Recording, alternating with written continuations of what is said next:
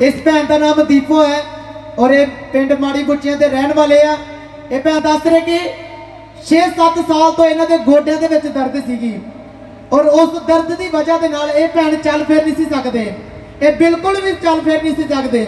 ਅੱਜ ਜਿੱਦਾਂ ਮੀਟਿੰਗ ਦੇ ਵਿੱਚ ਆਏ ਇਹਨਾਂ ਨੂੰ ਬਾਈਕ ਤੇ ਬਿਠਾ ਕੇ ਲੈ ਕੇ ਆਏ ਸੀ। ਇਹ ਤਾਂ ਇਹ ਤੁਸੀਂ ਬਾਈਕ ਤੇ ਆਏ ਸੀ? ਹਾਂਜੀ ਹਾਂ। ਮੋਟਰਸਾਈਕਲ ਤੇ ਬਿਠਾ ਕੇ ਲਿਆਏ ਹਾਂਜੀ ਹਾਂਜੀ। ਇਹ ਭੈਣ ਦੱਸ ਰਹੇ ਕਿ ਅੱਜ ਜਦੋਂ ਇਹ ਮੀਟਿੰਗ ਦੇ ਵਿੱਚ ਆਏ ਇਹਨਾਂ ਨੂੰ ਮੋਟਰਸਾਈਕਲ ਤੇ ਬਿਠਾ ਕੇ ਲਿਆਂਦਾ ਗਿਆ। ਪਰ ਅੱਜ ਜਿੱਦਾਂ ਹੀ ਪਰਮੇਸ਼ਰ ਦੇ ਦਾਸ ਨੇ ਮਹਾਭਿਸ਼ੇਕ ਦੇ ਆਇਲ ਦੇ ਨਾਲ ਇਹਨਾਂ ਤੇ ਪ੍ਰਾਰਥਨਾ ਕੀਤੀ, ਅੱਜ ਜਿੱਦਾਂ ਪ੍ਰਭੂ ਦੇ ਦਾਸ ਨੇ ਇਹਨਾਂ ਹੱਥ ਰੱਖ ਕੇ ਪ੍ਰਾਰਥਨਾ ਕੀਤੀ, ਇਹ ਭੈਣ ਦੱਸ ਰਹੇ ਆ ਕਿ ਉਸੇ ਟਾਈਮ ਤੋਂ ਇਹ ਬਿਲਕੁਲ ਉਸ ਦਰਦ ਤੋਂ ਆਜ਼ਾਦ ਆ। ਜੋ ਦਰਦ 7 ਸਾਲ ਤੋਂ ਇਹਨਾਂ ਨੇ ਤੰਗ ਕਰ ਰਹੀ ਸੀ, ਜਿਹਦੀ ਵਜ੍ਹਾ ਨਾਲ ਚੱਲ ਫਿਰ ਨਹੀਂ ਸੀ ਸਕਦੇ। ਇਹ ਅੱਜ ਉਸ ਦਰਦ ਤੋਂ ਬਿਲਕੁਲ ਆਜ਼ਾਦ ਔਰ ਫ੍ਰੀ ਆ।